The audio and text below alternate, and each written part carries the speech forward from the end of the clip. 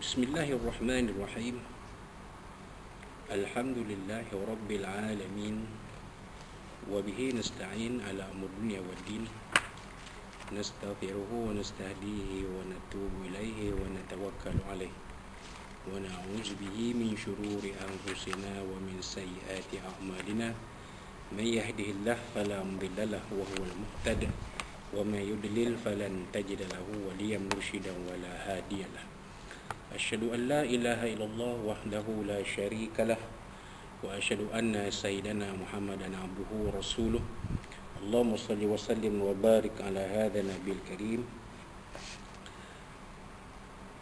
أشهد أن لا إله إلا الله وحده لا شريك له وأشهد أن سيدنا محمدا عبده ورسوله اللهم صل وسلم وبارك على هذا النبي الكريم سيدنا وحبيبنا وشفيعنا وزورنا ومولانا محمد المصطفى وعلى آله وصحبه ومن دعا بدعوته وتمسك بسنته وجاهد في سبيل الله إلى يوم الدين. رب اشرح لي صدري ويسر لي أمري واحلل عقدة من لساني يفقهوا قولي. سبحانك لا علم لنا إلا ما علمتنا إنك أنت العليم الحكيم. wala hawla wala quwwata illa billahil azim. Allahumma aftah alaina hikmataka wa anshur alaina min khazaini rahmatika ya arhamar rahimin. Allahumma anil haqqa haqqan warzuqna ittiba'ah. Wa arina al-batila batilan warzuqna ijtinabah. Qala Allah subhanahu wa ta'ala fi kitabil aziz sa'uz billahi minasy syaitanir rajim. الله لا إله إلا هو الحي القيوم. لا تأخذه سنة ولا نوم. له ما في السماوات وما في الأرض. من ذا الذي يشفع عنده؟ بإذنه يعلم ما بين أيديهم وما خلفهم ولا يحيطون بشيء من علمه إلا بما شاء. وسع كرسيه السماوات والأرض ولا يؤوده حفظهما وهو العلي العظيم. صدق الله العظيم وقال نبينا سيدنا محمد صلى الله عليه وسلم تفكروا في خلق الله ولا تتفكروا في الله أو كما قال صدق رسول الله صلى الله عليه وسلم tuan-tuan puan-puan muslim-muslim sekalian rahimahumullah assalamualaikum warahmatullahi wabarakatuh Amma Alhamdulillah Alhamdulillah pada hari Isnin ini 11 Rajab 1443 Hijriah bersamaan 14 Mac 2022 masih kita panjatkan setinggi puji dan syukur kita kepada Allah SWT yang memberikan kita sekali lagi kesempatan untuk berada dalam majlis ilmu ini eh, majlis ilmu maya ini. insyaAllah dikira sebagai Rodatun min Riyal Jannah satu taman dari taman-taman. Syurga Allah SWT ya, dikurniakan kepada kita uh, rahmat yang dibutuhkan para malaikat ya, dikurniakan kepada kita sakinah ini ketenangan dan dikurniakan kita ganjaran yang sebaik-baiknya dari Allah Subhanahu wa taala insyaallah. Maka eh, pada malam pada hari ke, kali ini kita akan teruskan ya dengan uh, pengajian kitab ringkasan akidah sunnah wal jamaah syarah Maturidiyah yang disusun oleh tuan guru Al-Fadhil Tuan Guru Ustaz uh, Muhammad Rauf bin Nurin Al-Bahanji Al-Ali Hafizullah Ta'ala. Ya, Kita sampai kepada bab yang akhir dalam kitab ini. InsyaAllah kita akan uh, bincangkannya pada kuliah kita yang kali ini Yang akhir insyaAllah. Ya, Tajuknya ringkasan Al-Mutawhid yang lengkap. Firman Allah SWT A'udzubillah min rajim Fa'alam annahu la ilaha illallah Sallallahu azim. Mafhumnya ketahui olehmu wahai Muhammad bahwasanya tiada Tuhan yang berhak disembah dengan sebagaimana yang melainkan Allah SWT surah Muhammad ayat 19 ya.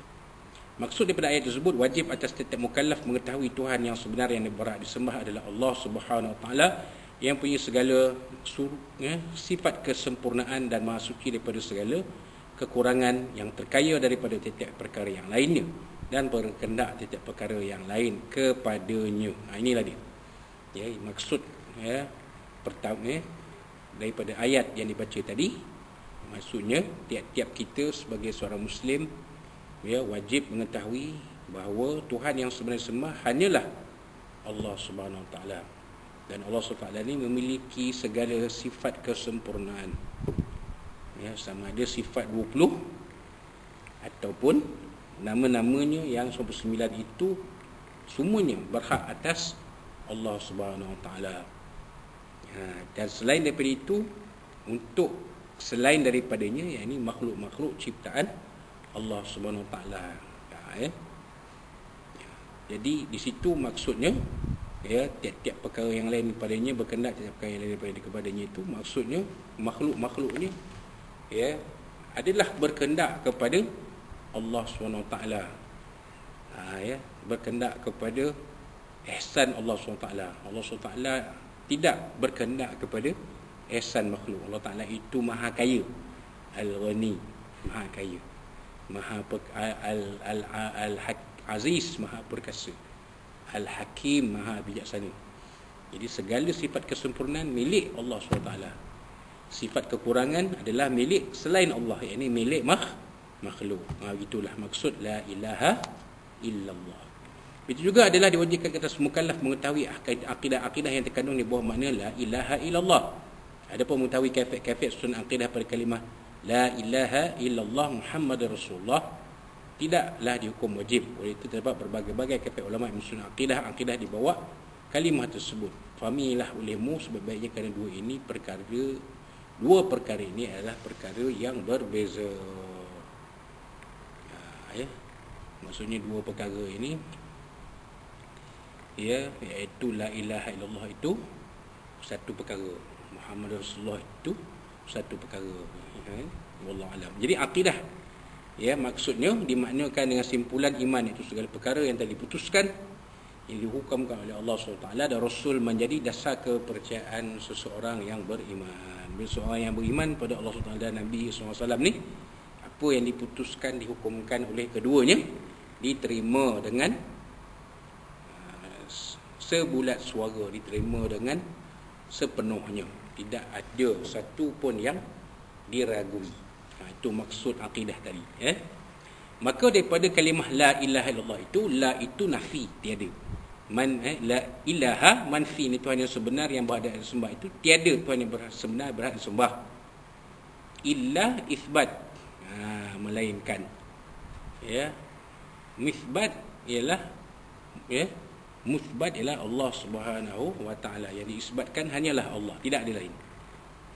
Ya, maka di sini la ilaha tu menafikan. Tiada tuhan. Ya, apa-apa pun lah selain Allah SWT selain daripada Allah dia bukan tuhan. Ha, itu maksud dia. Eh selain Allah bukan tuhan. Maka tiada tuhan selain Allah. Ha. Erti di sini la mustaghniyan an kulli ma siwahu. Jadi yang terkaya daripada tiap-tiap perkara yang selain daripadanya. Ha. Sayang Allah Taala ya tidak seperti kayanya Allah Taala. Maksudnya kalau ada manusia yang kaya, kayanya tidak sekaya Allah. Allah Taala yang maha kaya. Allah Taala takkan jatuh miskin. Orang ya manusia yang terkaya boleh jadi miskin tak boleh boleh jatuh miskin ya apabila berlaku sesuatu petaka maka jatuhlah ia miskin. Ya kan itu adalah makhluk. Allah Taala tidak akan miskin. Allah Taala itu maha maha kaya. Ha itu maksud dia. Wala muftaqiran ilaihi kullu ma adahu illa Allahul an kulli ma siwah. Dan tiada yang berhajat kepadanya oleh tiap perkara selain dia. Ha, wala muftaqiran ilaihi kullu ma adahu illallah ha, itu maksud dia eh? mana tidak ada yang berhajat kepadanya eh? selain dia ha, tiap-tiap perkara ni akan berhajat hanya kepada Allah Ta'ala tidak kepada selain Allah Ta'ala itu maksud dia eh? al-mustaghna al-mustaghnin an kulli ma siwahu hmm. Jadi yang terkaya daripada setiap perkara yang selain daripadanya. Ha, selain daripada Allah Ta'ala ni. Kalau kaya pun dia ada batasan dia, dia. Ya, ada had dia. Eh, ada limit dia. Ha, eh. tapi Allah Ta'ala tidak ada limit. Ha, kekayaan Allah Ta'ala tidak ada had tidak ada batasan. Ha, tidak ada ceiling. Ha, istilahnya. Kan? Ha, ya. Kerana Allah Ta'ala itu maha kaya. Ha, eh. kemudian wal muftaqir hu ilaihi kullu ma adahu tidak dan berhajat kepadanya tiap-tiap perkara yang selain dia. Ya, selain Allah Ta'ala memang berhajat kepadanya. Ya, Allah Ta'ala kita ni berhajat kepada Allah Ta'ala. Sebab kita memohon pun hanya kepada Allah Ta'ala bukan kepada yang lain. Kalau ada manusia yang berhajat kepada selain Allah maka ya akidahnya rosak kenapa kerana dia menganggap selain Allah itu Tuhan. Sedangkan selain Allah tidak dapat memberi manfaat dan mudarat kepadanya. La yanfa'uhum wala yadurruhum. Tidak ada memberi manfaat pada mereka dan tidak memberi mudarat pada mereka apa-apa pun selain Allah Taala. Ini dalam konteks ayat yang dibaca sebentar tadi berhala-berhala sembahan mereka itu. Tidak memberi manfaat pada mereka dan tak memberi mudarat pada mereka. Hanyalah mereka sembah saja. Sebagai sebagai simbol. Ha, sebagai lambang sebagai tanda. Gitulah eh Wallahu alam. Maksudnya, makna ketuhanan uluhiyah yang dinafikan pada la ilaha iaitu diisbatkan pada illallah adalah dua perkara. Pertama, iftiqarun ilaihi kullu ma adahu. Iftiqar. Ya. ya iftiqar perlu berhajat kepadanya tiap-tiap selainnya. Dan yang kedua, istaghnahu ilahu an kulli ma siwahu. Meminta kaya Tuhan itu daripada tiap-tiap yang selain daripadanya. Maknanya kaya, kaya Tuhan daripada tiap-tiap perkara yang lain. Maksudnya Allah Ta'ala itu maha kaya. Tidak perlu ya, kepada yang lain. Seperti mana selainnya. Ha, gitu. Kita makhluk perlu kepada Allah. Perlu kepada yang lain. Tapi Allah Ta'ala dia tak perlu. Bergantung kepada sesiapa. Dan Allah Ta'ala itu ya, dia maha kaya. Ha, dia tak perlu pun nak meminjam duit ke ataupun ya, meminjam harta ke ataupun ya, uh, membuat pinjaman ke dan tak perlu. Allah Ta'ala itu maha kaya orang yang kaya dalam muka bumi ni kadang-kadang ada yang membuat pinjaman harta. Uh, sebab ya, nak menyelesaikan mungkin ada ya, tanggungan-tanggungan yang perlu di, dilunaskan. Uh, itu kalau kaya di atas muka bumi di atas muka bumi ni kaya sebagai makhluk. Tapi kaya Allah Taala tak perlu eh. Wallahu alam. Daripada makna ketuhanan yang pertama ini menerbitkan atau memwajibkan 11 sifat wajib. 11 sifat mustahil satu wajib lawazim istighna satu tiga wajib lawazim istighna dan tiga mustahil lawazim istighna. Apa makna sifat wajib? Ada 11 di sini. Ha, yang wajib bagi Allah Taala yang membuat mana kaya kaya daripada fa'il mewajibkan. Ha, ada empat. Itu mukhalafatul hawadith baqaun kidamun wujudun. Ya, wujudun itu sifat nafsiyah.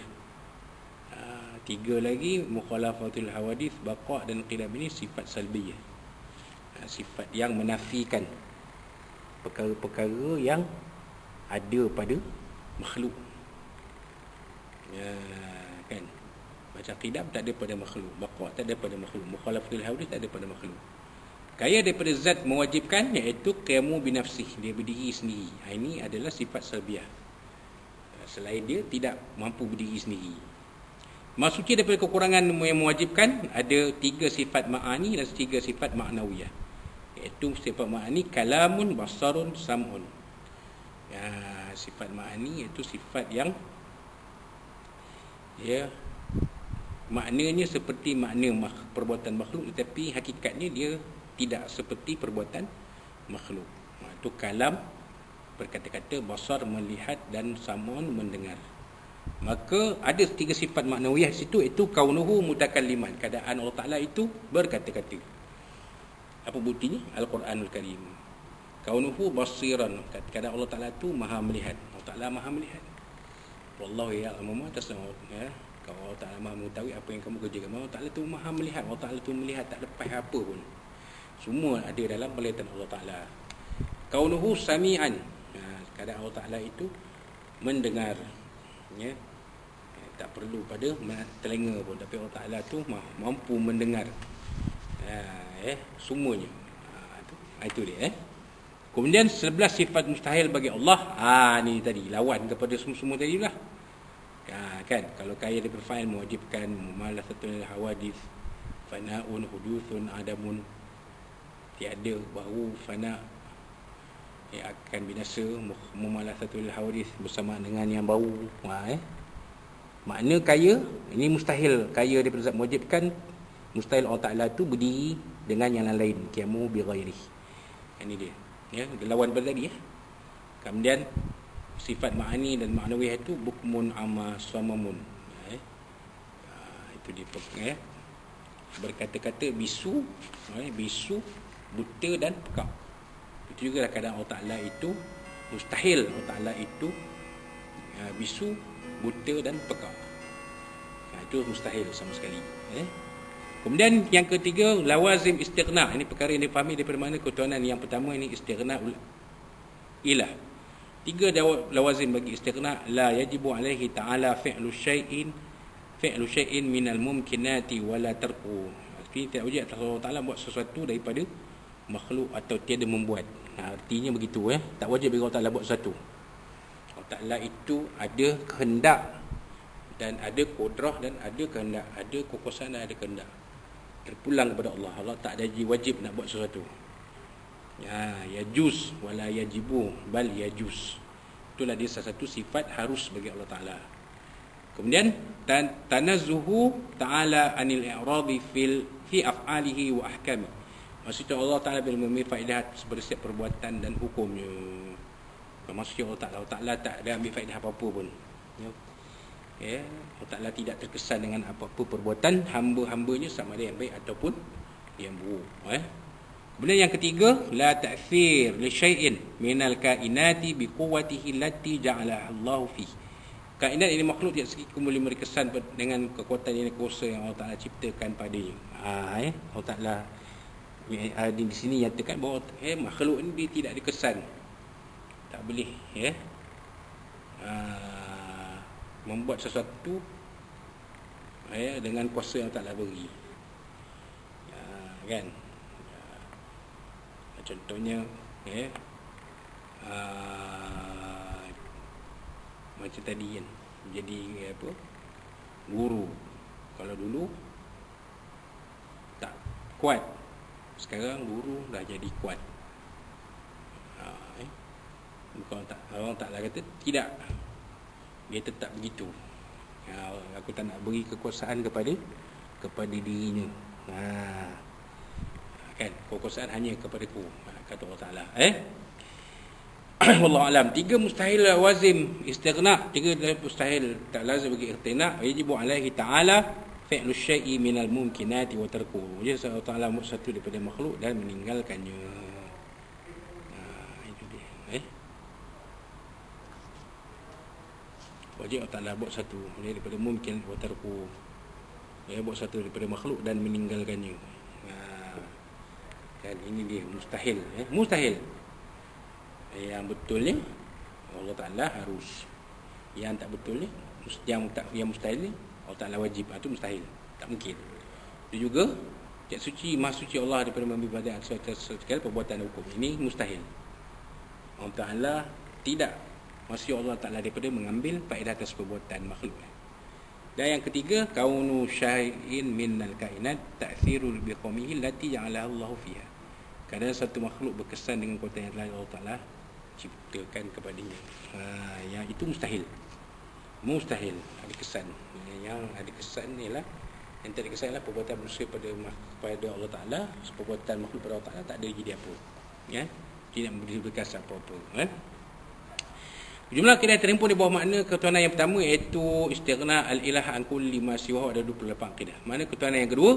Iftiqaru ilaihi kullu ma adahu. Berkenaan setiap perkara yang lain kepada Tuhan eh daripada mana ketuhanan yang kedua ini menerbitkan atau mewujudkan sembilan sifat wajib sembilan sifat mustahil dua wajib lawazim iftiqar dan dua mustahil lawazim iftiqar sifat wajib pada Allah Taala daripada maksud iftiqar ini ada sembilan. Bergendak pada Allah Taala supaya ditentukan supaya dijadikan dan supaya dihilangkan kekurangan ada satu sifat selebih dan empat sifat ma'ani. Wahdaniyah. Kan ni ya berdiri di sendiri. Allah Taala itu berdiri seesanya tidak jadi dua tiga. Kudrah Allah Taala wajib ada kekuasaan. Iradah Allah Taala wajib ada kehendak. Ilmu Allah Taala wajib ada pengetahuan mengetahui. Hayah Allah Ta'ala wajib ada kehidupan. Ada nyawa.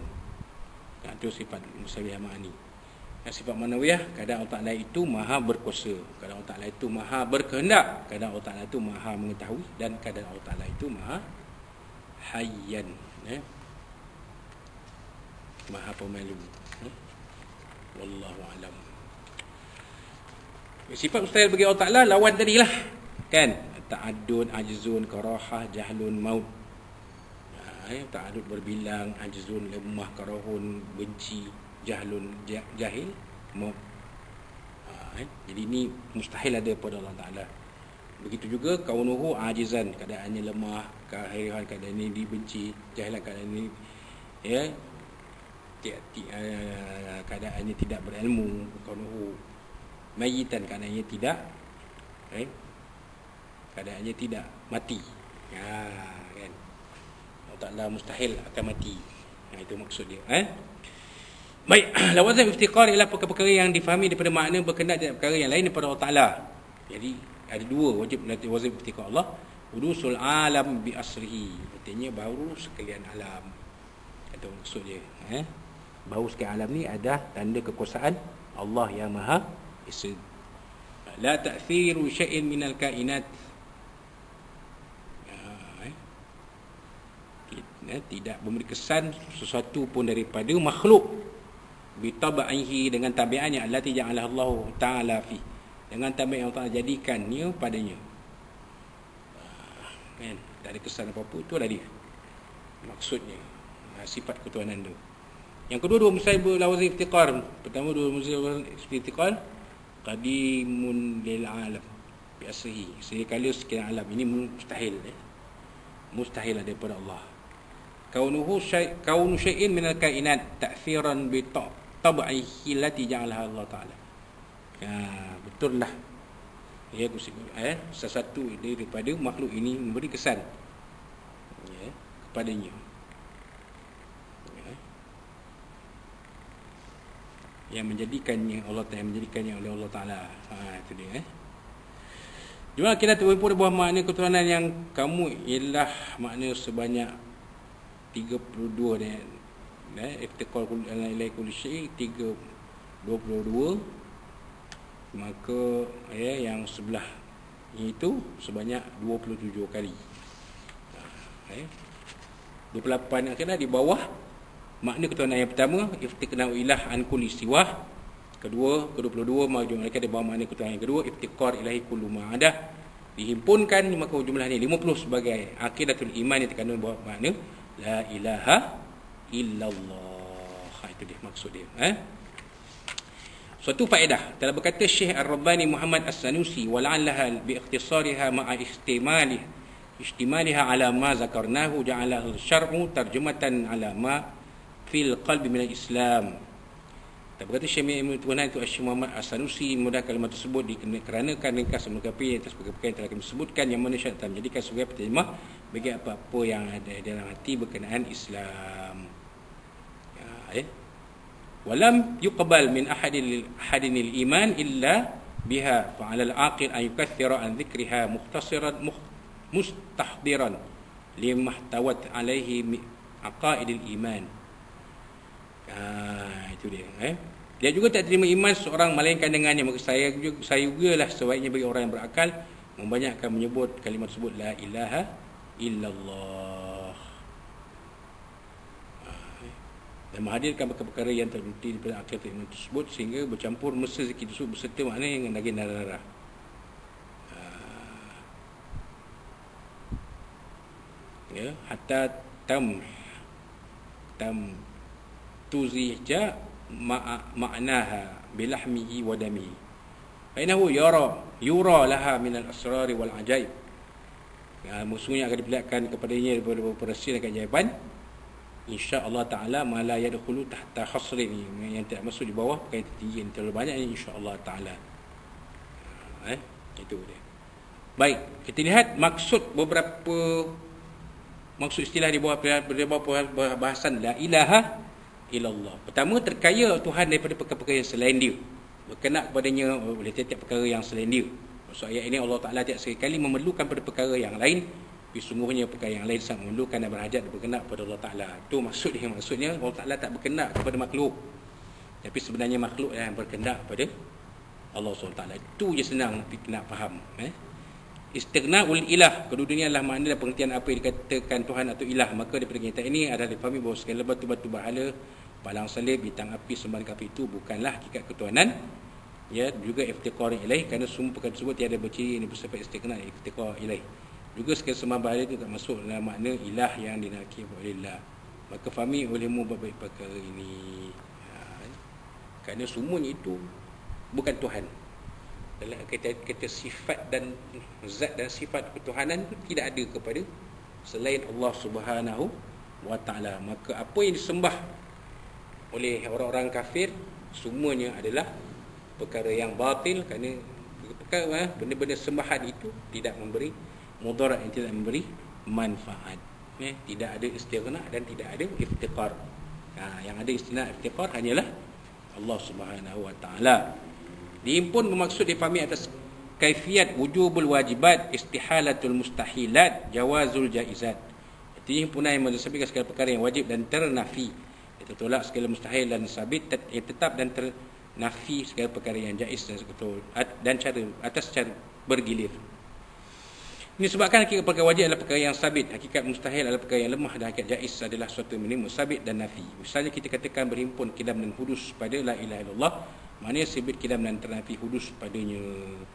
Ya, fahami olehmu sebaik-baiknya. Wallah taala alam. Maknanya bila kita sebut la ilaha illallah tak mungkin sifat wajib Allah dan mesti Allah itu berkumpul sekali.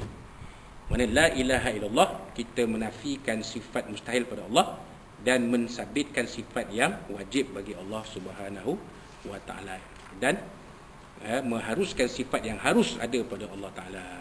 Ha, itu dia cerita dia, eh. Baik, sebagai akhirnya ya uh, surah Al-Fatihah ayat 29 artinya Muhammad SAW utusan Allah Muhammadur Rasulullah Mengandungi enam perkara sekali sifat wajib bagi Rasul, sekali mustahil bagi Rasul, sifat jais bagi Rasul, lawan sifat jais bagi Rasul, empat rukun iman, lawan empat rawan rukun iman. Ya, sifat ya, yang wajib bagi Rasul, ya, uh, sidik, amanah, tabligh, fatanah. Wajib bagi Rasul itu benar, ya, ada sifat amanah, ada sifat menyampaikan dan ada sifat bijaksana dan mustahil bagi rasul itu ada sifat yang bertentangan dengannya. Dan harus bagi rasul dan nabi itu ada sifat kemanusiaan yakni sifat manusia ada sehat sakit ada perasaan ada emosi ada gembira ada sedih ada marah dan sebagainya. Maka sifat-sifat manusia sama ada sifat fizikal atau sifat emosi itu harus ada bagi pada seorang nabi dan seorang rasul.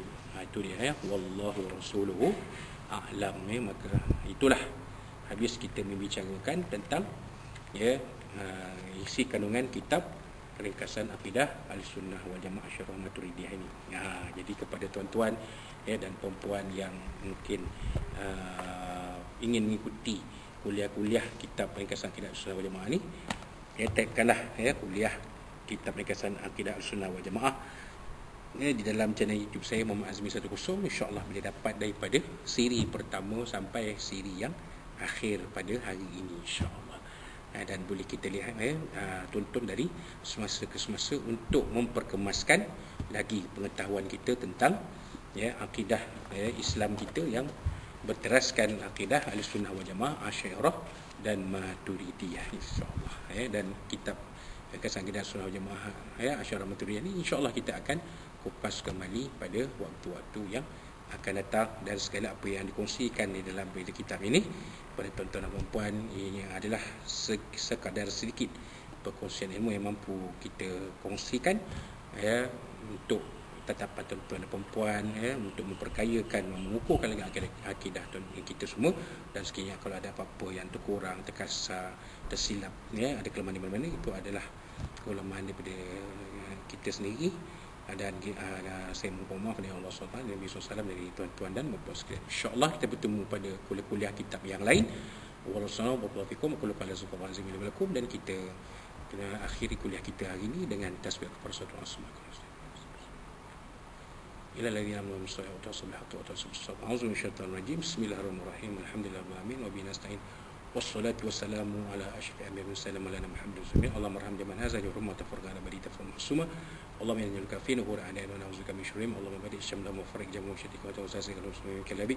يا قحار يا جبار انتقم يا الله يا الله يا الله. اللهم انزل الكتاب جرس السهو وازم اعزاء اهزم وصلنا عليهم فني من سوشا رحمه من ربنا زين مزنا فما يا أكرمك. وربنا آتنا في الدنيا حسنة وفي الآخرة حسنة وقنا عذاب ربنا عليك توكلنا واليك لك مصير ربنا اللهم ارفع عنا البلاء والباء بالسوء بالكرقنا ورقلاء الميان وفتن ما ظهر منه الوطن امن هذا خصوصا صلى فبيجا وبيجا وسلم وجودك وكرمك كرم من سنة سنة حرمنا والله إنا نرزقك من البرس وجنة وجنة أسقام أرحم الراحمين ربنا تقبل منا دعانا وسلم علينا ولقاءنا وعملنا في هذه الآية في هذه المبارك من شهر شباب المبارك السلام عليم تب علينا يا مولانا الرحيم اللهم بارك في رجب إن شاء الله وبارك رمضان لو فيها اسم الله فيها سنة والحمد لله تقبل الله منكم منكم تقبل كريم بالله التوفيق السلام عليكم ورحمة الله وبركاته